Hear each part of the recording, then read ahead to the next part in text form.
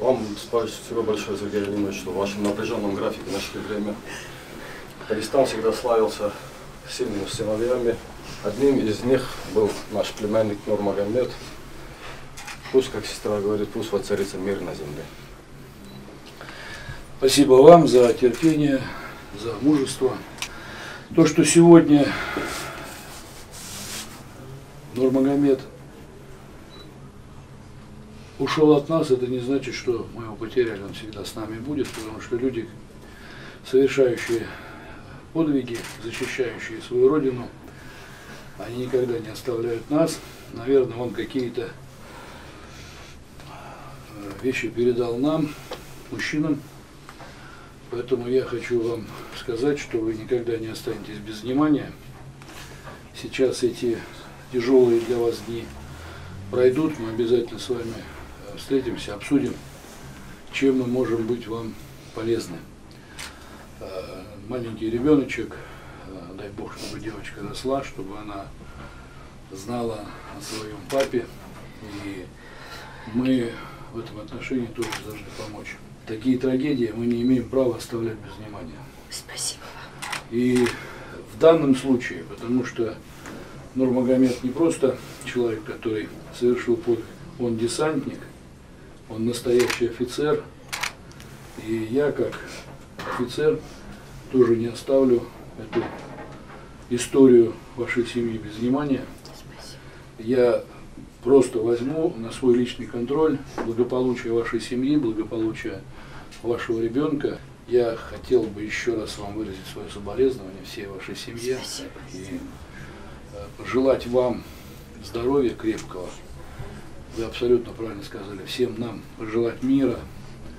Но, к сожалению, мы живем в такой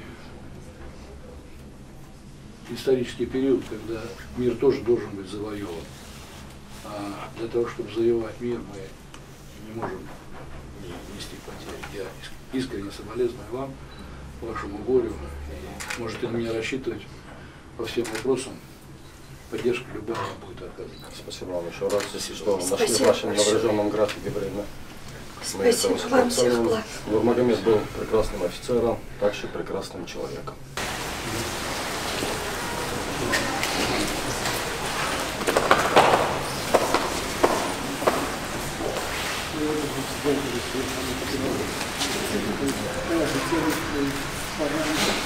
приказывал командиром до конца связи.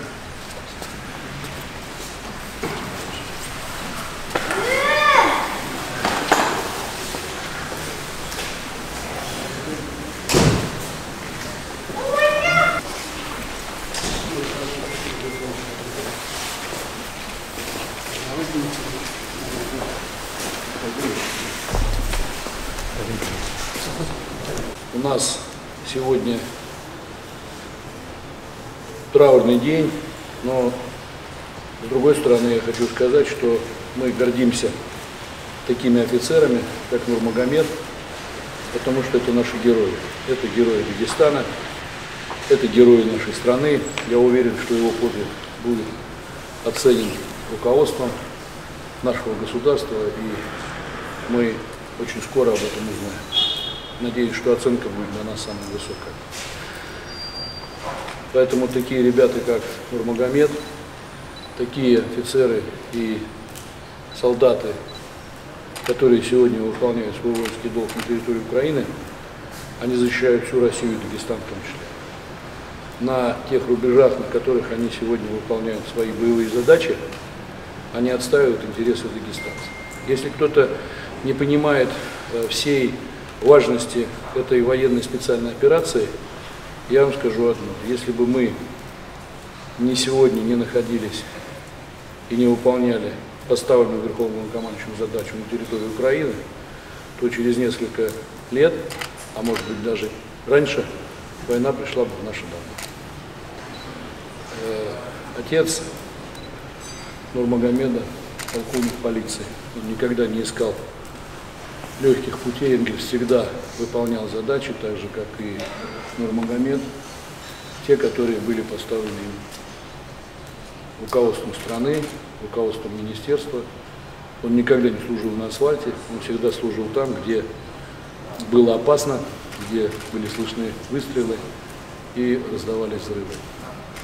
Ну, а на сегодня э, Магомед Гусейнович, Герой России, я думаю, что не будет, наверное, какой-то тайны, если я скажу, что его сын тоже офицер, и его сын, офицер, находится сегодня в составе группировки войск, проводящей специальную военную операцию по освобождению Донбасса. Мы прекрасно осознаем и как граждане, в том числе, свою ответственность перед тем, что сегодня делают и что выполняют наши земляки. Так же, как и ответственность перед их семьями. Ни один из дагестанцев, отдавший свою жизнь за светлое будущее нашей страны, не будет забыт. Всем семьям будет оказана помощь. В какой степени? Ну, наверное, в эти трагические дни мы определяться не будем. Сейчас горе присутствует в каждом доме.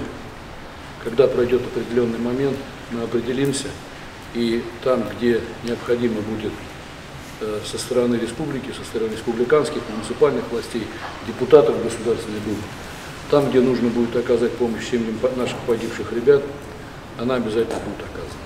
Такие же трагедии, наверное, сегодня испытывают граждане многих субъектов. Рамзан Ахматович сегодня э, объявил о потерях среди военнослужащих подразделений из Чеченской Республики. Мы соболезнуем всем нашим кавказцам. Мы соболезнуем и находимся рядом с, горей, с горем всех семей наших защитников.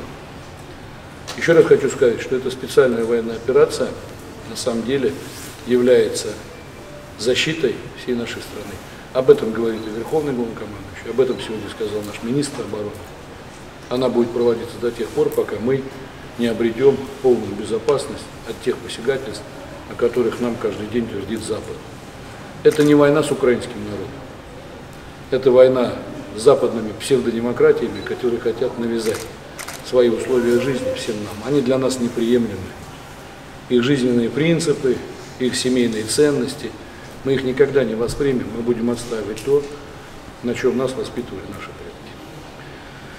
Я хочу еще раз, Энгельс, выразить самое глубочайшее соболезнование и тебе, как моему, моему, моему боевому другу, товарищу, всем родным, всем близким, всем, кто присутствует здесь, кто пришел на соболезнование. Спасибо большое. Э, Нурмагомед, уйдя из жизни, от нас никуда не ушел. Он остался с нами, потому что он всегда будет жить в нашей памяти, и мы всегда от таких героев, как Нурмагомед, будем помнить. Вечная ему память, а как офицеру вечная слава нашему герою.